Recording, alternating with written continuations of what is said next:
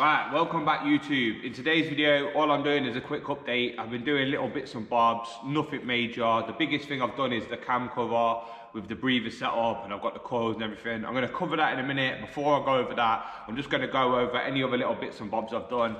Obviously, what you can see, the turbo is on now. Um, it may have to come back off. We're setting little things up, but I'll put it on. Um, I've Cerakoted the cold side in Glacier Gold Cerakote. I was going to powder coat it, but it's a bit of a pain in the arse to powder coat it just because of how you mask it and stuff. And I'm thinking with the black and gold I've gotten already, um, and the fact that the turbos kind of sits quite low, so you're not really going to see it that much. Uh, the Cerakote's also got the benefit of the, the heat. Um, I've Cerakoted the hot side as well. I've Cerakoted this in Glacier Black Cerakote. So basically this side I'm hoping the Cerakote will stop the heat coming out um, and this side will stop the heat going in. How much of a difference it actually makes, I mean I've mainly done it for the for the looks basically but if it stops any kind of temperature even a little bit it's a bonus um, so yeah, obviously the turbo's on, both sides are coated, one's gold, the other side's black to match the manifold. Um, so that's it for that side. On the other side, I've put some auxiliaries on, which we'll flip round now and I'll show you that. So here's the other side, there ain't really a lot to show you. Obviously, Cerakote black on the, and the alternator, Cerakote black on the uh, aircon pump. I am keeping aircon because I'm daily driving it. I'm not going mad with it. Um, and then obviously I've just done bolts. The bracket was already gold. The bolt, bolts are gold. The tensioner.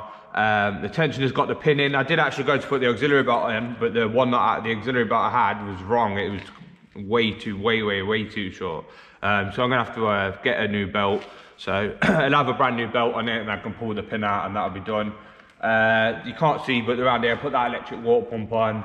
Um, but yeah, that's it, other than the cam cover, which is the main bit of the video, which I'm gonna cover now. Um, who the fuck calls up a garage on a Sunday at like half four? Some people, man. But yeah, anyway, we'll get on to the, I'll, I'll bring the camera up and we'll go over the cam cover and that's pretty much it for today's video. I will talk you through a bit of what what the next plans are. I'm just doing little bits and bobs. I can't put the thermostat housing on yet. I've, I've ordered a ECS um, aluminium water pipe or what people call the crack pipe. Uh, that goes across, it's sandwiched in. So that's on the way. When that comes, I'll fit that in and the thermostat housing can go on. Um, I really need to sort out the gearbox, putting the, the uprated clutch pack in and getting it painted. Uh, get the dual mass flywheel on. Uh, I've got a new one, LUK one. Um, so that'll all start going on because there's a few things I can't really plan properly until the gearbox and everything's on and stuff. It is a little bit awkward. Uh, the other thing I'll just show you quickly as well is the loom. Uh, you'll see again in a minute when I go over the coil packs and stuff. Uh, but obviously you've got the fact that I've got different injectors, so the plugs have got to be changed. Um, and obviously the way these sit now with the coil packs is going to be different. So I'm basically, I'm, I'm using the OEM loom because the, the, the standalone that I'm getting, the Emu Black, is a plug and play. Uh, so it'll just plug into the normal OEM loom. But there is obviously certain things that I ain't going to be using no more, uh, especially to do with like the EVAP and the breather system. And so there's going to be certain plugs I don't need no more, uh, which I don't want to cut off, but I just want to hide them, if you know what I mean. I don't want to, I don't want to cut them off just in case I ever need them in the future.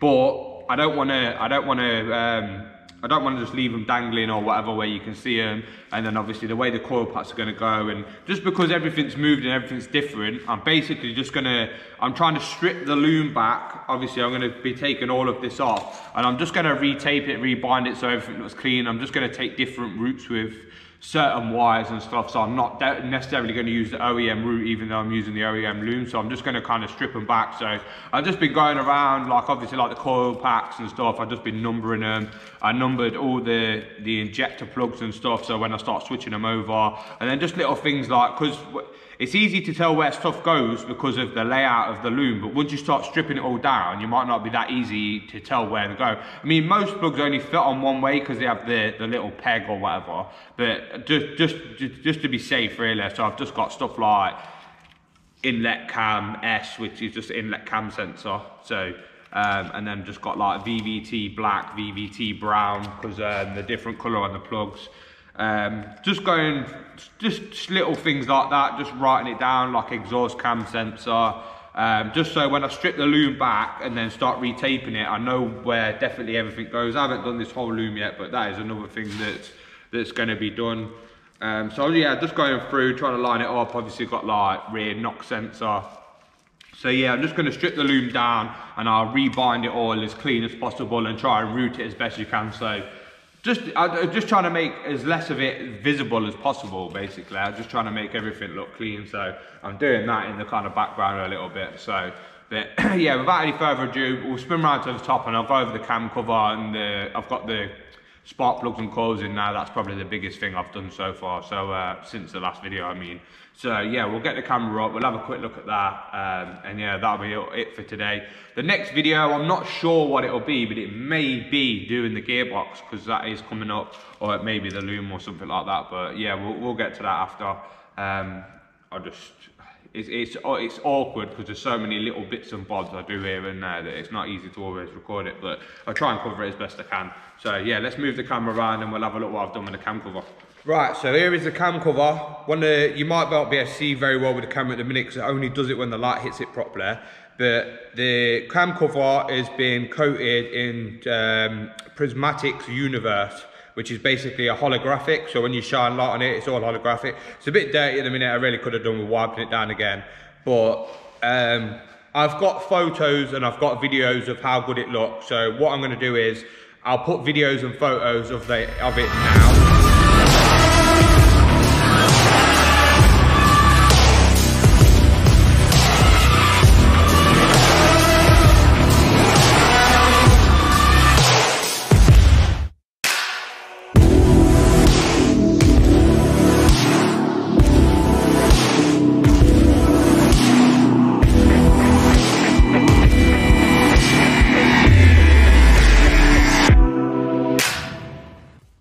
Can see see what it looks like now. You can see how shiny and reflective it is etc so now you've seen what the cam cover looks like i'm going to go into what i've done basically with like the, the, the breather setup for a start. So what happened was for a start off i fucked up a little bit. So i don't know if you've seen in here but basically in this little tower bit that stands up that you've got like a, a, a plastic piece in here that's got like a diaphragm and then you have your normal OEM fit in there for your breather system that then goes to your intake manifold. Obviously that's all gone away and what I'm going to do is I'm going to be doing a catch can setup. So I'm going to atmosphere, so I've just got two fittings that will go to atmosphere. Well what I did at first, I just had straight AN 10 fitting straight at the top, so they just came straight out. These are the ones I've actually put on the fuel rail now. I was lucky enough that they're fitted there, so I've been able to use the fittings. But yeah, what I did was I put them in here, and then I looked at the original coil pack. Obviously, the, the, the normal coil packs, the, the plug is directly on the top with the loom.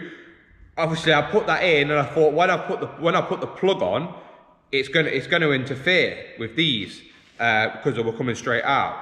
Um, I thought going with the right. To be fair, I wanted these ones anyway. Um, I wanted the ones with the right angle on and the red and they look quite nice. The, I, I wanted new coil packs anyway. These, the, the R8 ones, there is many, apparently there is a performance benefit. Some people say it don't. Whether it actually does or don't, that's not what I bought it for. I think these look better. It'll be cleaner with the fact that they come off to the sides rather than straight up, like having them pointing up in the air. I just think everything will be cleaner. So that, that's what I decided to do. Plus, they're not any more expensive than the normal ones.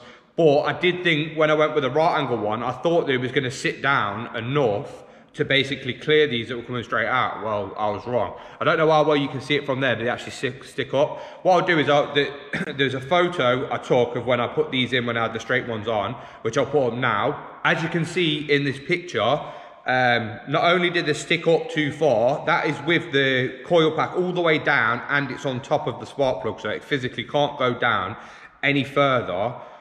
So there, there, was really nothing I could do. Not only that, but if you look at the bottom of the, well, not the bottom, but where the the coil pack goes in to the cam cover, you will see a silver bit. Obviously, that's the bit of the coil pack, the heat shield, because the coil pack's not going all the way down. Right, now that you're back, you'll be able to see now that they just look all black now. So what I've done is I actually Cerakoted the, the coil pack at the top. Well, I, I, I, did more than half of it, so to cover it all in black, just so where it does stick out, you could, you, it's not silver, so it doesn't stand out, so it looks more stealthy. So now it just looks black all around the edge, even though they're, they're, they're not all the way down. Um, to be fair, you, can't, you couldn't really go much further down anyway, just because of the plugs have got to go on the side. Um, so yeah, because I messed up that, what I had to do was I had to go back and get, I got these fittings instead. What these are is banjos, but these are swivel banjos. So these, these are completely tightened up. The silver bit in the center is what stays, what clamps against um, and then these can just spin freely. So I don't know which way I'm going to go. I could go both that way and off, or I could go up on a right angle, uh, on a right angle, go this way. I don't know exactly where I'm putting the catch can yet, but luckily with these going anywhere, I can literally just put the engine back in, put my catch can where I want it, and then just determine where these need to sit in best to do the breather system. I don't know whether these are going to be enough. These are two AN10 ones. The thread was M18 by 1.5. I mean, like I said, I've only going like 650-ish and it's a built engine, so I'm hoping my crankcase pressure is probably not that high. Um, another thing I want to show you what I did in here is I made um, I made a baffle.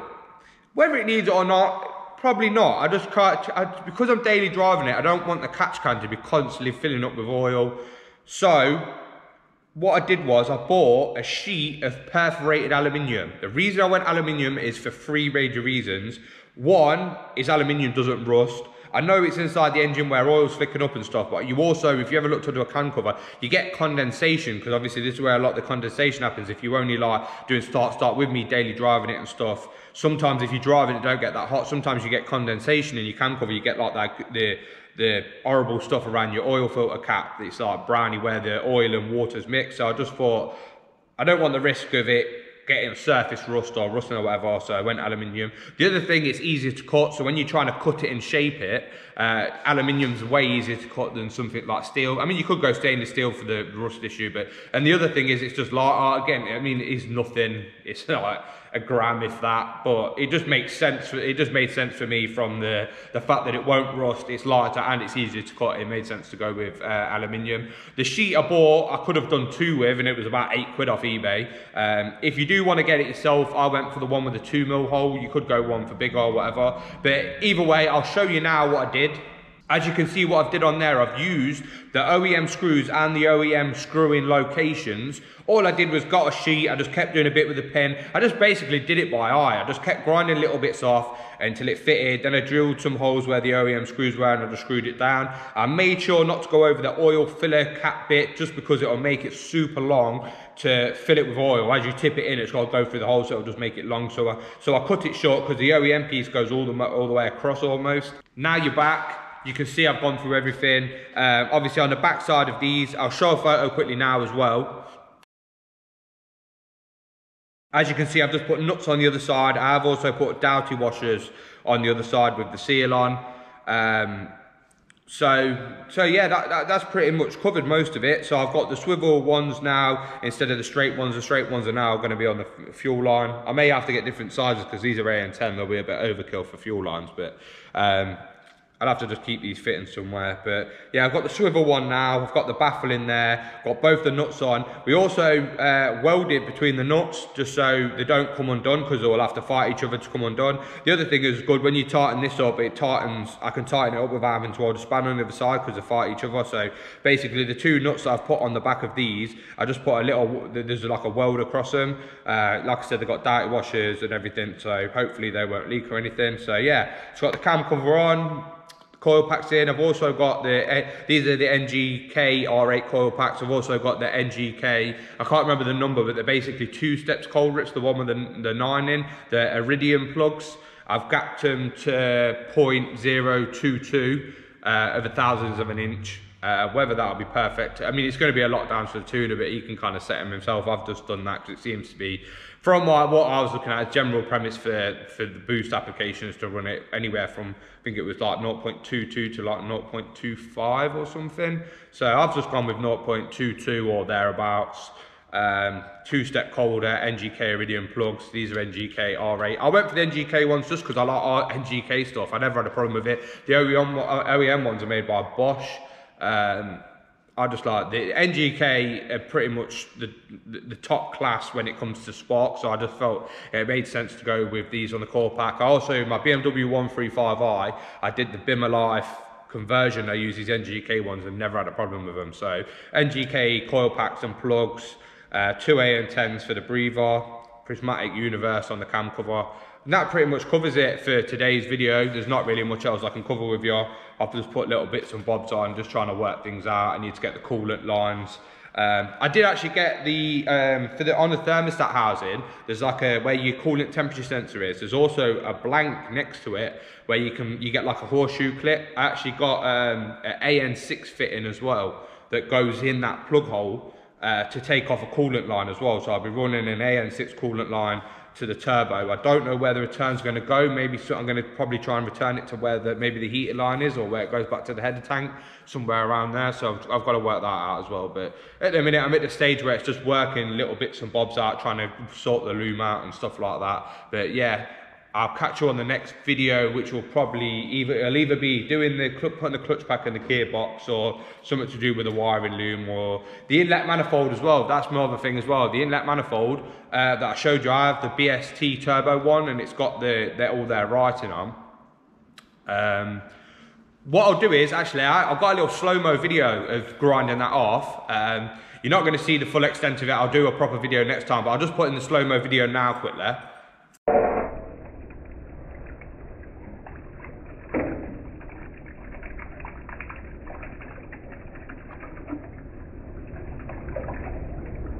As you can see, we just had it on a surface grinder. I decided I just wanted to keep it clean and smooth. Um, the BST logo and now it says turbo after. I just don't really like it. I like the R32 bit, but then it's to one side, so it looks a little bit odd.